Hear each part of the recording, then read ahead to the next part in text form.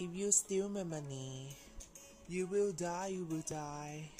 If you were a spy, you would lie, would lie. If you had studied English with Pikita, you would have known more English tips like that.